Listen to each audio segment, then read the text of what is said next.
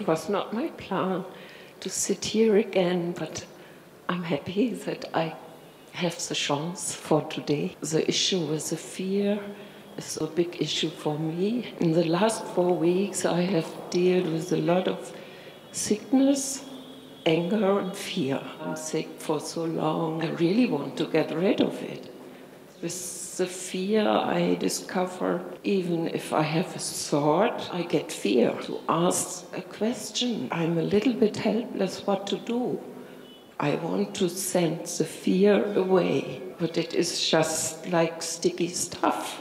What to do to get out the fear of my body? I want to get rid of it. You spoke about illness, you spoke about fear, and you spoke about anger. Yeah. The thing is that the illness comes because of the fear and anger in the system. It's not the other way around that you're ill and that's why you're afraid and angry. It's because this fear and anger, it keeps on taking over. You allowing it to happen to you, then at one point the illness will come. There's no way around it. It has to happen that way, and it happens that way each time. The thing is, why is that fear and that anger there? Now, in your case, you have suddenly come across a teaching which tells you no, don't go into the cosmic experience.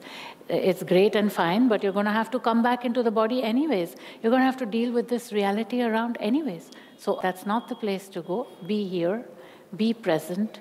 Remember, your actions are governed by the ego, and when they're governed by the ego, by the ahankar, uh, you're in trouble. So try to move into a state where your actions are governed by the truth of your being. Then you started to implement this teaching. You started to practice it, to try to practice it. The sadhana, the practice you started, and then the shaking starts. The fear and the anger start because your system has been operating largely from the ego all your life except for your early years. Yes. And you grew up in a culture which ensures that the socialization process is so well organized that the human being becomes the perfect instrument to serve the, the main institutions of that society. Of course, every society needs human beings to serve their institutions. That's not, that's not what I'm questioning or what I'm bringing up here. You have to serve the institutions of the place in which you're born. But the culture in which you are raised is, is, is a master at instrumentalizing the human being for the success of a few. It is not for the success of the human being. So obviously fear is the means of control. That's, that's, it's, it's the enemy, it's the means of control. We know that. You can't allow that to happen to you. You have to be able to live in that culture and not be a victim of that, of those machinations of those systems. So how do you do that? The way is to learn how to bend, and then that's where the anger comes. Because the ego has determined your life all these years. The ego has told you how to make decisions. Your decisions have not come from a truth impulse, they've come from what you call instinct. I feel hmm. it's the right thing. I shouldn't lie. Who says you shouldn't lie? Who says that? Which actual spiritual system would say that? Everybody lies. Everybody lies, everybody lies.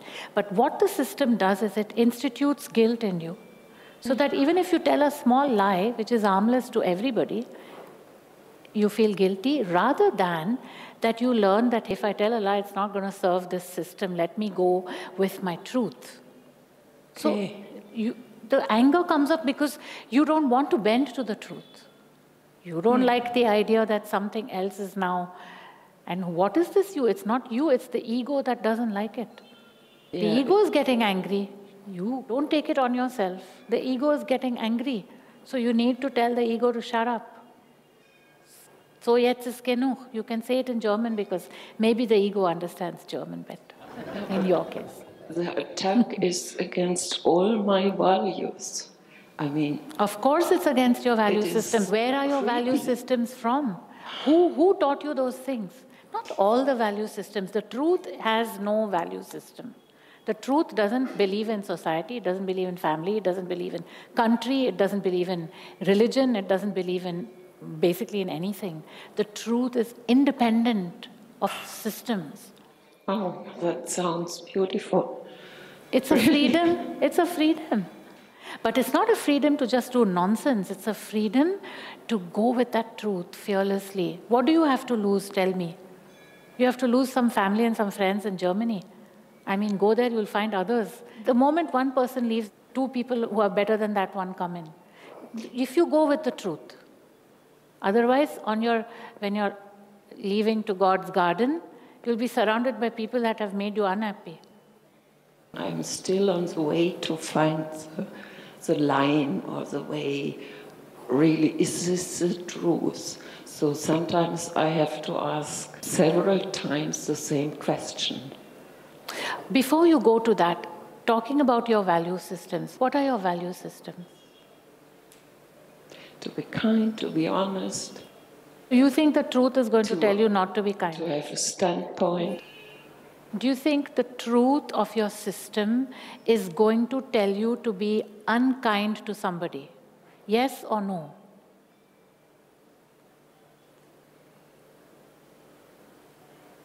I'm not 100% sure. That's a good that's a good position to be in. Why? Because the truth can tell you to be unkind to somebody as much as it can say no. If you ask the question, should I be unkind to him? You might get a yes from the truth. Because the truth is here to serve society, not just the individual. But society is here to serve society and not the individual. You see, that's the problem. Our, our lives are governed by value systems that are not here in place to serve the individual's development, growth, and strength, but to serve society's development, growth, and strength. We have to switch that around, that's all. But the truth will always, it, it, it is that that is underlying this entire thing that is unfolding along the time trajectory everything is connected to perfection, and that truth knows it. If you don't go with the truth, you, you stumble. But if you just go fearlessly, there is no chance of that stumbling happening, and it also serves society at the same time. So, if you get an impulse, be unkind to him in this moment, and you go with it fearlessly, you will be kind to him, yourself, and the whole world around. Okay. That's how it works.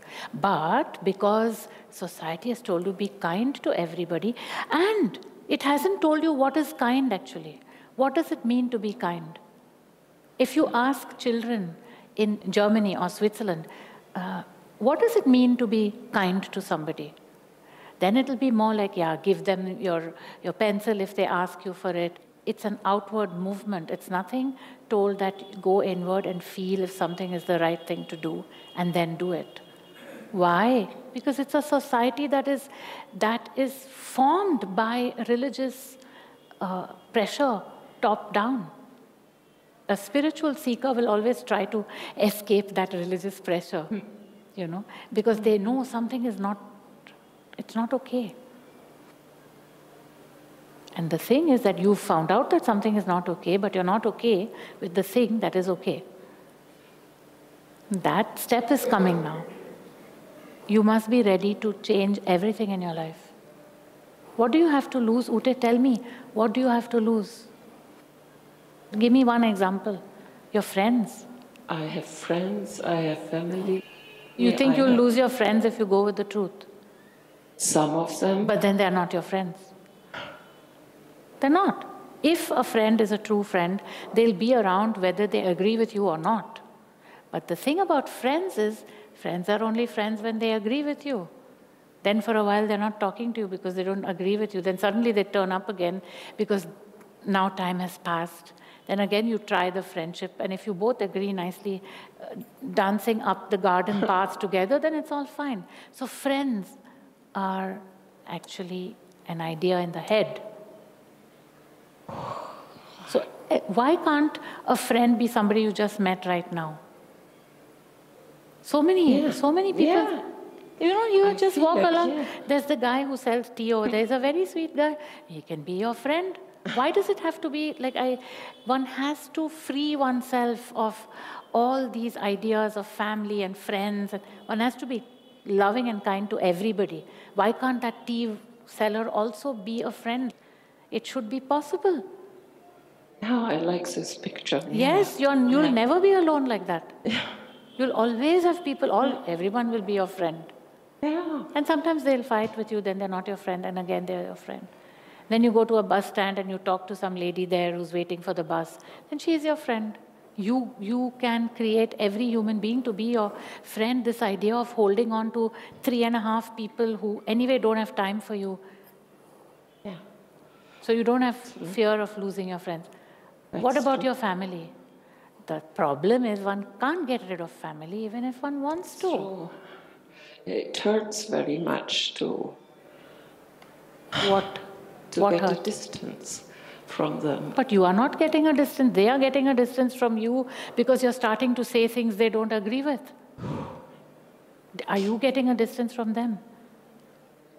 I don't agree political with them. Well, that's a political disagreement. There's still yeah. blood, family. I'm telling you, can't get rid of family.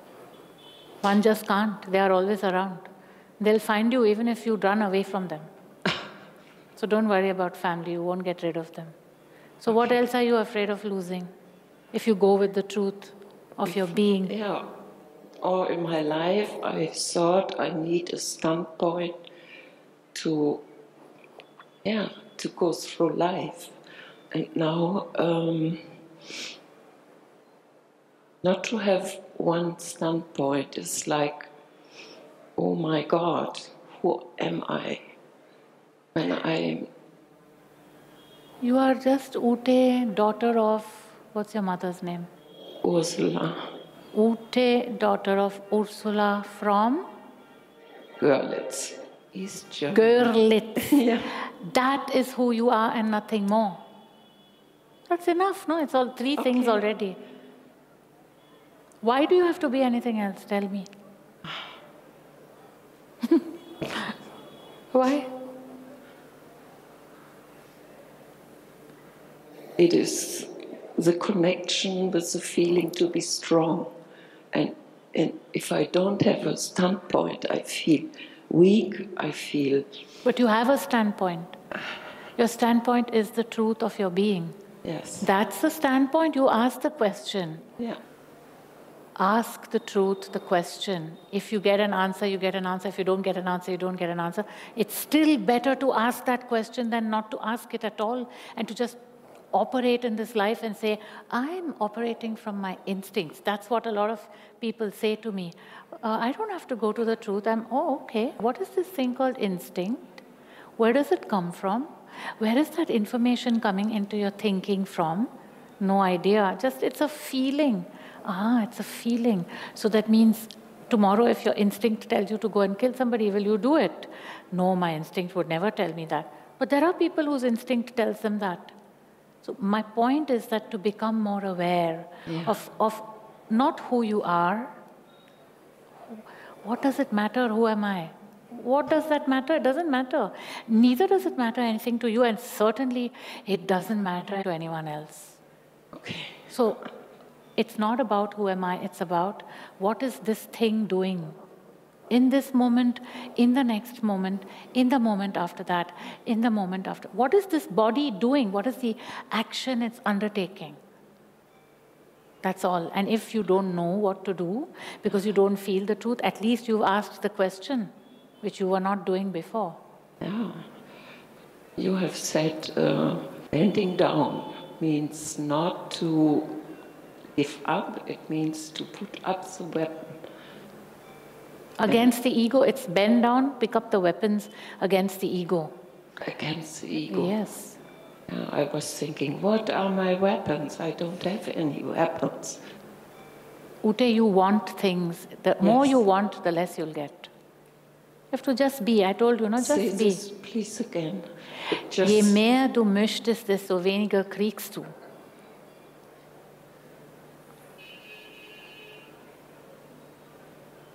तुला जितकं पाहिजे तितकं कमी तुला मिळेल that's in Marathi by the way thank you. Maybe he can say it in French. We can say it in all languages of everyone that's here. Bend down to the truth, go with the truth. Wow. That's all. The more you want, the less you'll get. Just go with the truth. Just bend, just be. Huh, I'm happy to be alive. Okay. You have a job, you have a Yeah. job. You go to the job, oh, I'm happy that I have a job. That's enough. You don't have to think so much about anything. It's finished. Okay. You don't have to think, oh, my family, oh, my friends, oh, my, my this, my that, my that. It's, it's, it's not going to make you happy. Yeah, I want to go back to a joyful life. Go back to a joyful life. No, go forward to a joyful life. Because had you been really joyful, you wouldn't have been a seeker sitting in a satsang. That's true. Either you're unhappy or you're, true. or you're unconscious. The unhappy ones come to the satsangs, the unconscious ones don't. That's how it is. I'm, I don't mean this satsang, I mean generally a person becomes a spiritual seeker because they realize that they have become a victim of society and they realize that now they have to find to themselves. So they start reading books, searching, and that is a way, steps by which they can go back to the home, to the truth, which is the base of their being. There's nothing to worry so much about, you know. You already look literally in front of my eyes. You've just, you, you, like you've become like a, I don't know, like 20 years younger. Just right now, it's, it's shocking to see that. I, mean, I would like to check that up on the camera. No, seriously, because did you notice it? It's just suddenly like it's, there's nothing, it's just living. It's beautiful. It's beautiful. Okay, thank you. Nothing to worry about, nothing to be afraid. Uh, If you're afraid of something, oh, that's the ego, out. No Out. fear, out. Throw it out. You wanted to throw the, the fear out of the system, you throw it out by throwing it out. Yes. You throw it out by recognizing the tremor and saying, no, out. Out. Yeah. That's my. And after a while, once you train yourself to do that, you know, what will happen? It's very fascinating. You will be able to sense the vibration of fear trying to enter your system before it comes in, and you'll be able to deflect it. There are people I've trained to do this, they can do it. They actually can do it. From this moment, if you are afraid, have that fear tremors, it is your fault because now you know how to do it. If you allow yourself to be fearful, for example, to raise your hand and ask a question, nobody else in this room will take the blame from now on. We'll all point a finger at you, you, because you know how to do it. So forth, Rouse, nine, Emma, nine.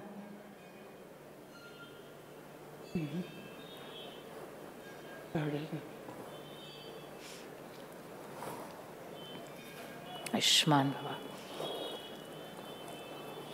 It's over, those fears. It's just nonsense. Not one minute more in this life. Sometimes fear is there, there are situations, but not this daily thing for small, small things. You know, uh, uh, uh, it's out.